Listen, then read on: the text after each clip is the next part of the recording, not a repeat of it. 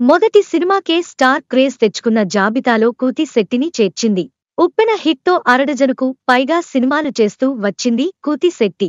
ఉప్పెన తర్వాత నానితో Sam Singha Roy cinema చేసిన కూతి శెట్టి ఆ మూవీతో కూడా హిట్ అందుకోగా నెక్స్ట్ వచ్చిన బంగార్రాజు కూడా సక్సెస్ అయ్యింది. హ్యాట్రిక్ హిట్స్తో కూతి శెట్టి రేంజ్ పెరగ్గా తర్వాత వచ్చిన మూడు సినిమాలు ఫ్లాప్ అయ్యి అమ్మడికి షాక్ ఇచ్చాయి. బంగార్రాజు తర్వాత రామ్తో ది వారియర్ నితిన్ మాచర్ల నియోజకవర్గం సుధీర్ బాబు ఆ అమ్మాయి గురించి మీకు చెప్పాలి సినిమా చేసింది. ఈ సినిమాలన్నీ బాక్సాఫీస్ దగ్గర ఫెయిల్ అయ్యాయి.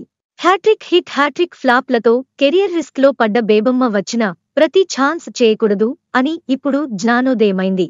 ఉప్పెన క్రేజ్తో వచ్చిన సినిమా ప్రతి ఒక్కటి సైన్ చేసుకుంటూ వెళ్తే ఇలానే జరుగుతుంది. అందుకే కుతి శెట్టి సినిమాలకు కొద్దిగా టైం తీసుకోవాలని అనుకుంటుంది. ప్రస్తుతం కృతి శెట్టి నాగ చైతన్యతో వెంకట్ ప్రభు మూవీలో జోడీ కడుతుంది.